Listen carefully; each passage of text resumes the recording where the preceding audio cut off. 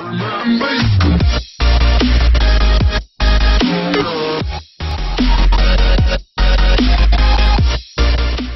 Pierce, master of Twitter, I'm being facetious, and all things social media, brought an extra phone to NBA All-Star Weekend, just in case. One of the phones has a very nice, cushy case. The other does not.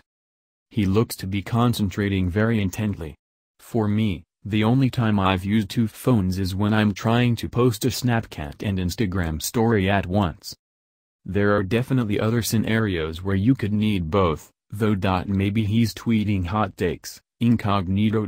Maybe he's taking a photo of his Instagram, to tweet the photo he took. Or, you know, if you're Kevin Gates. He might just be trying to find whole emoji photos on one phone, and links to Yahoo images on the other. Stay trying, Paul Pierce. Pierce.